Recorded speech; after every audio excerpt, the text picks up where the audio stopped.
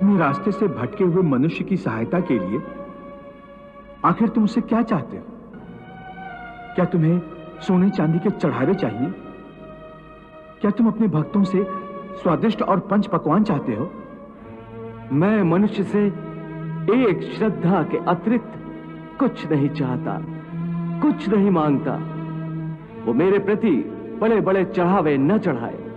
सोना, चांदी, घी, चंदन और पकवान के चढ़ावे मुझे नहीं चाहिए। श्रद्धा और भक्ति भाव से एक फल, एक फूल फूल की एक पत्ती जल का एक कतरा, या चावल का आधा दाना ही सही। मैं उसको भी भक्त की श्रद्धा से, कहीं अधिक श्रद्धा से स्वीकार कर लेता हूँ।